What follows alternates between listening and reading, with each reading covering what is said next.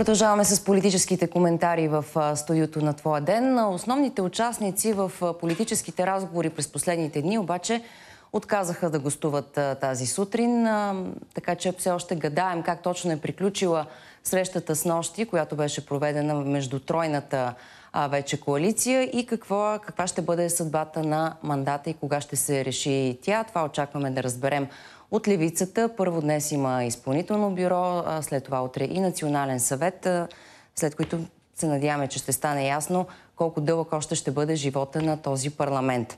В студиото е Петър Петров, заместник председател на Възраждане по горещите политически теми. Здравейте и добре дошли. Здравейте на вас и на вашите зрители. Първо ще взема повод от разговора, който преди малко приключи в студиото на Твоя ден. Тук беше Георги Гвоздейков. Най-сериозните обвинения и критики към него дойдоха именно от вас, за това, че той е назначен в разрез с закона. Той категорично отрича това, включително от партията Продължаваме промяната. Изпратиха и снимка от неговата трудова книжка, на която се вижда, че това не отговаря на истината. Вие какви доказателства имате? А, на първо място всичко, което имахме да изложим, разбира се, когато течеше обсъждането на гласуването на неговата оставка като народен представител в пленарна зала, ние ги изложихме, като посочихме, освен а, причините, които смятаме, че не позволяват той да вземе тази длъжност. И посочихме също и нежеланието на гражданската авиация той да вземе тази длъжност, за която подава своята оставка. И като цяло възобтахме не по, по отношение на конкретния случай, дали има доказателства или не, а по отношение на това, че заради конкретни постове се правят конкретни процедури, на тях участват конкретни хора от управляващата коалиция, именно за да бъдат поставени тези конкретни личности на тези постове. Процедурите се правят за конкретни личности, нещо, което го бяхме малко по-рано, няколко месеца по-рано и в процедурата за председател на Кевър. Това беше просто на повторение на това, което вече не сме гледали. Затова и възразихме а, против, а, из, изказвахме се против. Тоест, вие по-скоро имате морални политически аргументи, а не някакво конкретно доказателство, че има извършено нарушение. Разбира се, както и в този случай, така и по отношение на процедурата за избор на Кевър, аргументи ни бяха подобни и в двата случая, разбира се, изразихме своето нежелание това да се случи като начин на управление. И за това и не подкрепихме съответно тези искания на управляващите. А, добре, по темата сега за третия мандат, разговорите, които текат през последните дни, записа или по-скоро стрима, който случайно а, се оказа, че изтече в публичното пространство с разговорите по време на парламентарната група на Демократична България. А, вие смятате ли, че трябва да бъде удължен на живота на този парламент и ще подкрепите ли предложението на Корнелия Нинова да бъде отменена вакансията на народните представители, за да може поне да бъде избран председател на Кевър, една огромна каша, която се забърка там? А, предложение за удължаване времето, в което тези хора са се вкопчили във властта, ние не можем да приемем. А, ако видите как работи парламента през последните 2 или 3 месеца, ще разберете, че той не функционира нормално. Той функционира на 10%, образно казвам, своите, ам, своята скорост, обичайна скорост на законодателна дейност. Блокират се както пленарни заседания, така и заседания на комисии. Разглеждат се единствено законопроекти на управляваща коалиция, не и на опозицията.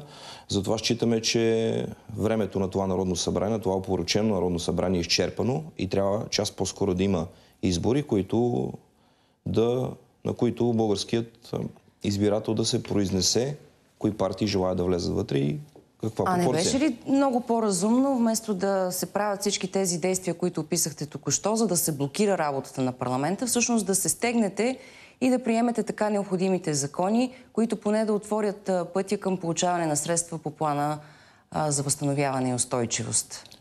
Само ако може да уточня, блокирането от страна на управляващата коалиция на 15 юли именно представителите на управляващата коалиция блокираха изваредното заседание на правната комисия. Работата на комисиите се блокира и от представителите на управляващата коалиция, в случай, когато на тях им изнася определени законопроекти да не бъдат гледани, в това число и законопроектите на Възраждане, като дори ще ви дам отново пример. На 20 декември сме внесли законопроект по отношение на членовете на КЕВър. В нарушение на правилника на Народното събрание той не е разгледан в домешните срокове, все още не е влязъл в пленарна зала, именно заради управляваща коалиция. Така че те са тези, които блокират законодателна дейност на парламента, не опозицията. Тоест да не очакваме този парламент да приеме а, решение за нов председател на КЕВР. Така ли? Аз лично съм песимист и това не трябва да се случи поне в този парламент, защото много е вероятно управляващата коалиция да измисли нови процедурни правила, които са в противоречие с Конституцията, както се произнесе Конституционния съд в своето решение по дело 4 от 2022 година. Кога очаквате вие да приключи живота на този парламент, ако в крайна сметка се окаже, че диалога няма как да бъде възстановен? Както съм го заявял от парламентарната трибуна, очаквам на 2 август президента да разпусне Народно събрание и да насрочи с указ предсрочни парламентарни избори, които да се проведат неделя 2 октомври. Това е лично мнение, не искам да ви ангажирам с него. Просто така виждам просто на къде отиват нещата. А какво ще отговорите на тези, които призовават да се намери начин, в крайна сметка, диалога да бъде възстановен в името на национално отговорното политическо поведение, в името на това, а, че а, все пак трябва да бъде защитен обществения интерес в ситуация, в която се наслагват множество кризи. И какви проблеми ще решат едни поредни предсрочни парламентарни избори? На първо място ще заявя на тези хора, че през последните 7 месеца никакви кризи не бяха решени. Напротив, страната беше хвърлена от управляващата коалиция в нови кризи.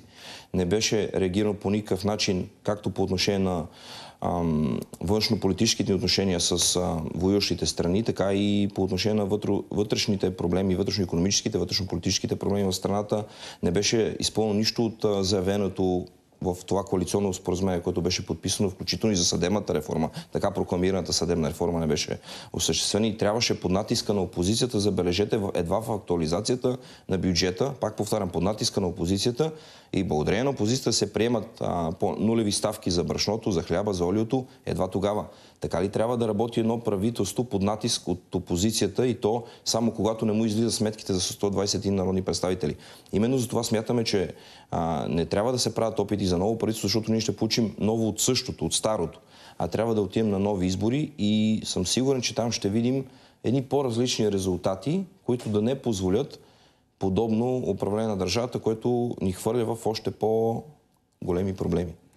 Каква виждате да бъде ролята на Възраждане в един следващ парламент? Все така ли ще продължите да бъдете в изолация и като опоненти на всички останали или виждате някакви потенциални партньори?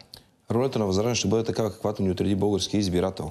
А ако хората са повярвали, че най-активната законодателна партия в 47-то Народно събрание, Възраждане, има качествата да предлага все така законопроекти, които да подобрят живота на българите, то предполагам, че ролята ни ще бъде много по-голяма. А и нека все пак да уточним, че не сме сами срещу всички в доста от важните гласувания, които минаха в 47-то Народно събрание, ние сме избрали позиция, която съвпада с позицията на една или друга част от парламентарно представените партии.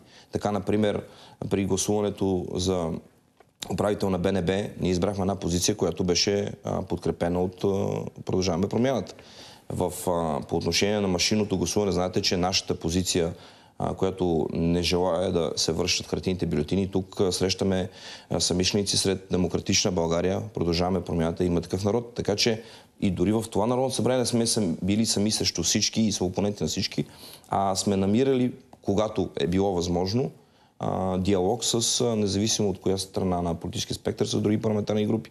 Това са примери. Добре, и на финала само да обобщим. Няма да подкрепите удължаване живота на този парламент и отмяна на вакансията и смятате, че трябва по най-спешния начин да вървим към предсрочни парламентарни избори? Категорично няма да подкрепим подобно нещо. Смятаме, че час по-скоро изборите трябва да се състоят. Благодаря ви за този разговор. Сега следва прогнозата за времето, след което продължаваме